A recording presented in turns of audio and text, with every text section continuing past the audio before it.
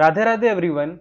In this video, I will discuss with you two scenario based Power BI interview questions which were recently asked in the data analyst interview for the client Morgan Stanley.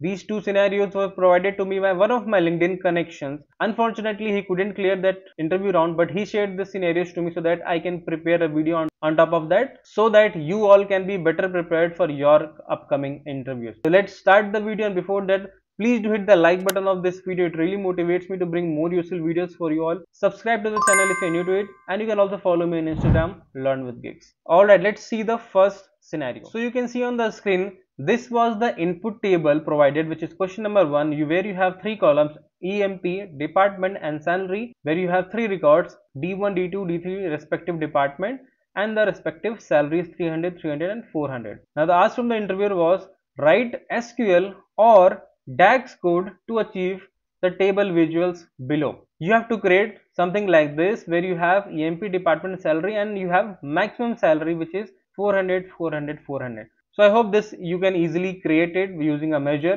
what i would like to discuss is this which is output number two which is we need to create the structure like this where you have emp department and salary but the rows are only two where you have clubbed the employee aa and their respective departments d1 with a delimiter line and d2 and the last row is cc with department number d3 in the salary part the summation which is 300 plus 300 which is 600 and the respective CC 400 should be shown. shown. Let me know in the comment box how will you create this table in SQL database. Okay. Let us see how we can do this using DAX. So I have come to my Power BI desktop. I have already loaded the table which is sheet number one. If I go to sheet number one, you'll find the same three rows. So we need to create a table output, right? As I'd shown you, we need to create a table output like this EMP department and salary. If we have to generate a table, what should we do? We should create on click on new table and make use of summarize function let me name it as output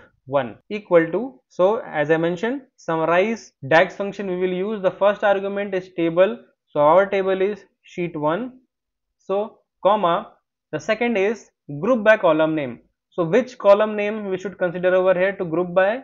It should be our employee which is emp so this is group by column name 1 let's proceed with the third argument which is the name. And the fourth is expression. So the name should be what? Let me name it as anything. For example dpt okay. Now moving on to the expression which is now this is the most tricky part how to club the two rows together in this expression part for this i will make use of concatenate x dax function now the next is the first argument under concatenate x function it should be a table but here is the tricky part. We should not directly utilize sheet 1 as the table.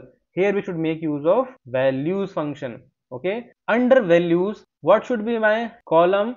I should make use of department column because I need to have a unique list of department. I need to club the unique departments of respective employees, right? So I will make use of values dax function over here. I hope it is clear. So closing the bracket for values function. Now what is my expression? My expression is my department column itself.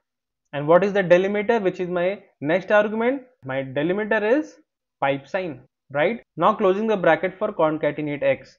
So right now we what we have done, we have done the expression part for this name argument. You remember we have name argument and then we have expression. So the name is DPT which is basically department only and the expression is this okay now next one is again we need to give another name which is salary and then the expression will be sum of our salary column right closing the bracket for summarize function i hope this code is clear let's see if this gives us the correct result or not and you can clearly see on the screen we have employee we have d1 pipe sign d2 and we have the respective summation which is 600 in the first row and for CC we have 400 respectively. So I hope this DAX code is clear to you now. I will check your SQL code what you will be writing in the comment box. So do write it whatever you know, whatever you think of.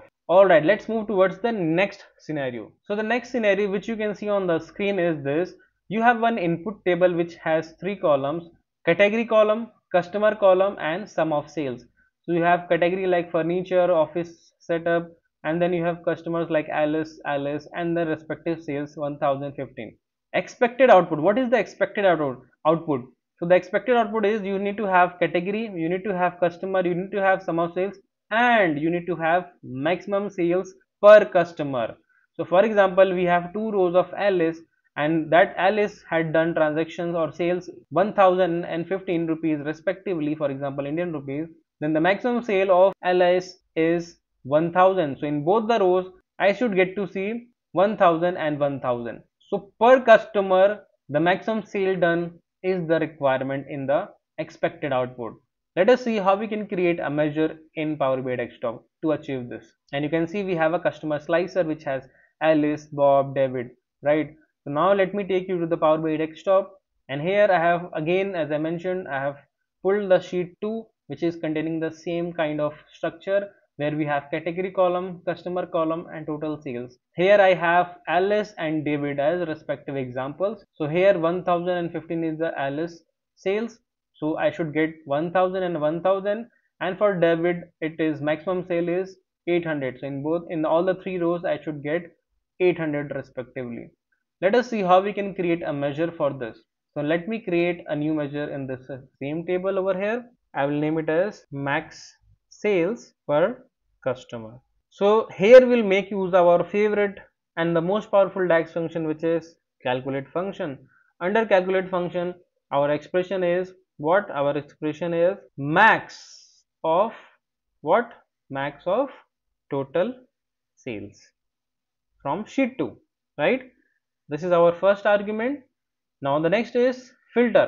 What we should write in the filter part of calculate function. So here we understood that customer is the only column or the only filter which is being applied for the total sales to categorize right? Basically it is ignoring category column and any other column if it is in the table. So if we have to ignore the filter context of all the columns of a table except one column which is customer column then which function is useful over here? The function will be all except. All except takes two arguments. Our first argument will be sheet 2 which is the table name. And the next one is the argument. The argument should be our what?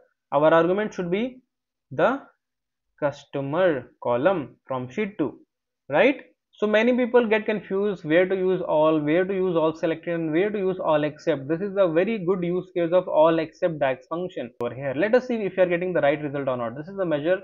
Let me put it in a table visual. So we have category we have customer and then we have total sales and then we have our re required column or measure which is maximum sales per customer.